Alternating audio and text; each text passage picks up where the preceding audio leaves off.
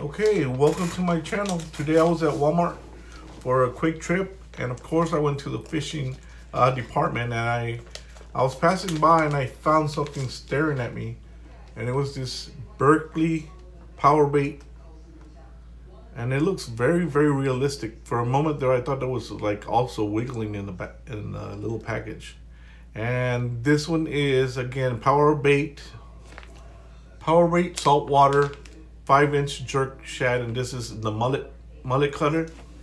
And they also had it in uh, pearl watermelon shad color and it looks you know very realistic. Now out of the package this is what it looks like.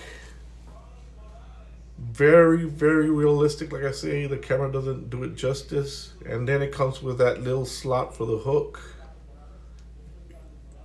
It's hollow in the middle a little space for the hook.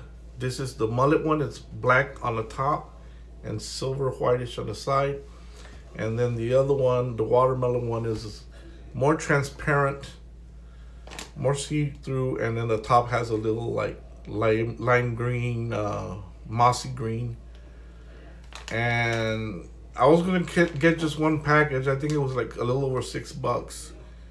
This is very, very detailed and again the mullet and the watermelon shad.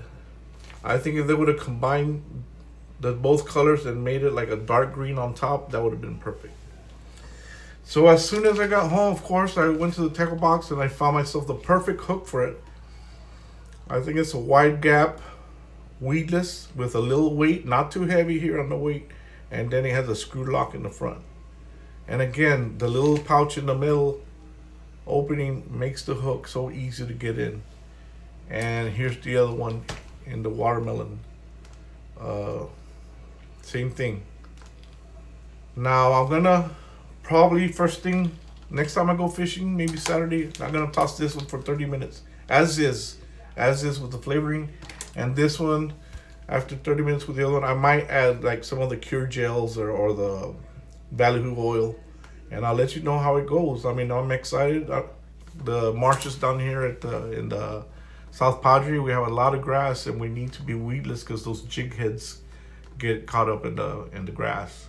So I'll let you know how it goes. I'm very excited to try this new lures, and uh, thanks for watching. Uh, please subscribe, share, and like.